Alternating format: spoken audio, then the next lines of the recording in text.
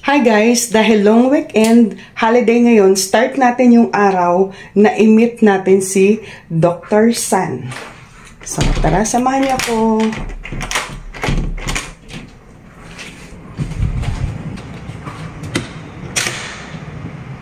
Ito tanawin dito guys, pag nandito ka sa tuktok, ayan, habang naghihintay ako na magbukas ang elevator, silipin natin.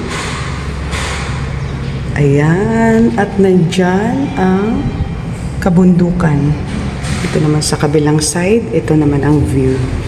Ayun, nagbukas ng elevator. So, nandito na tayo. Punta tayo ngayon sa ground. Nandito na ako sa baba, lakad tayo dito sa may arawan. Doon pa banda yung may araw. So, kailangan natin mag-expose sa haring araw lakad-lakad lang tayo dito. Kasi holiday ngayon guys, walang pasok. So ayan, enjoy natin yung apat na araw na walang pasok. Umpisahan natin ngayon. So ito, pagkagising, ito yung first hour na ating gagawin. Magpapaaraw tayo. So ito may part dito na may araw. Hello, Dr. San. Ayan, araw. May aso. Itong konting part lang ang may araw. Pero doon, mas exposed. Doon tayo. Ayan, dito na ako sa mas maaraw. Kaya lang, mukhang makulimlim ngayon as compare kahapon. Kahapon kasi, naglakad-lakad din ako bago pumasok sa school. As in, maaraw talaga. Pero ngayon, makulimlim. Ayan, yung mga tower na yan, palibot dito. 8 na tower yan.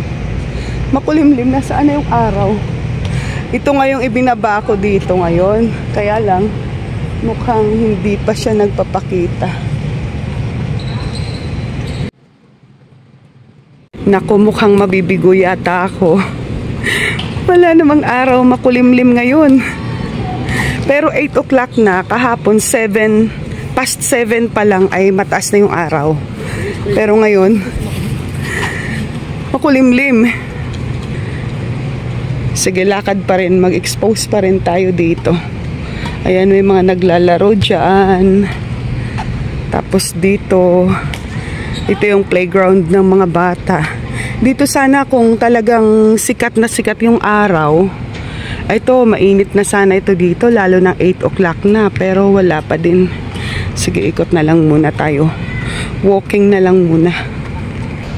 Mukhang nabibigo naman ako dito sa araw. Ito lang yung binaba ako dito. Mag-expose sana sa araw. Kaya lang, makulimlim. 8 o'clock na.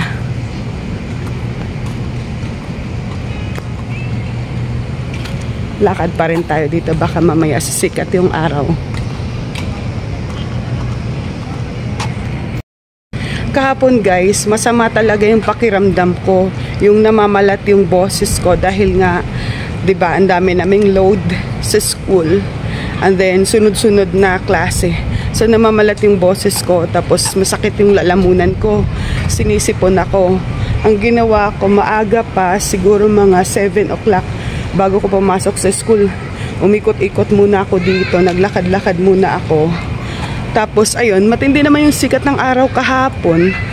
Pero ngayon, makulimlim ayun na nga, kahapon dahil sobrang sakit ng lalamunan ko, nag-expose ako. Naglagay ako ng katin ko, buong ulo ko, tapos efficacent oil sa buong katawan. Ayan, dito sa kamay hanggang sa paa. Tapos nagpaaraw ako. Alam nyo guys, talagang pinagpawisan ako and then umuki yung pakiramdam ko. Kaya sabi ko, today magpapaaraw din ako. Tapos samantalahin ko yung time na holiday So, ayun. Sisikapin kong everyday ay baba ako dito at maglakad-lakad para makapagpaaraw. Pero unfortunately ngayon ay makulimlim. Ayan, kunti pa lang naliligo dyan sa pool. Andito tayo, makulimlim. Oh my God, di man lang ako naarawan ngayon. Wala pang araw mamaya. Pero ikot pa rin ako doon ng isa pa. Nakabalik na ako dito. Naka isang round na hanggang dyan naikot ko Wala pa rin araw, kakaloka. Baka mamaya hanggang alas 9 na dito, wala pa ding araw.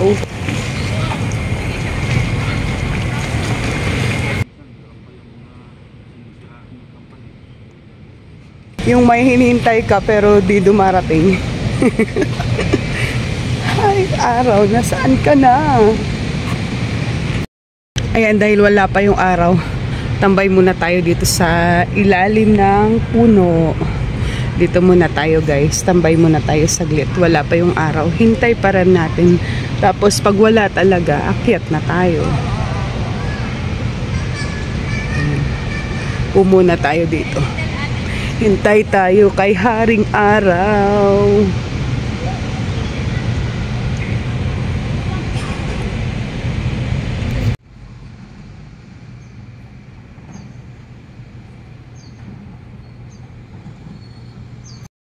Ito, 9.30 na. Tanghali na, pero ganito pa rin yung araw. Hindi siya yung sobrang mainit. Kaya okay na din. Makapagpaaraw, lakad lang tayo dito. Ayan. Dito tayo sa damuhan dumaan. Okay na, may araw na. Pauwi na din. Pakyat na rin ako doon. So, bukas ulit. Sana bukas ay mas maaraw. Thank you for today, first day ng holiday. Ayan, medyo maaraw na. So, dito na tayo.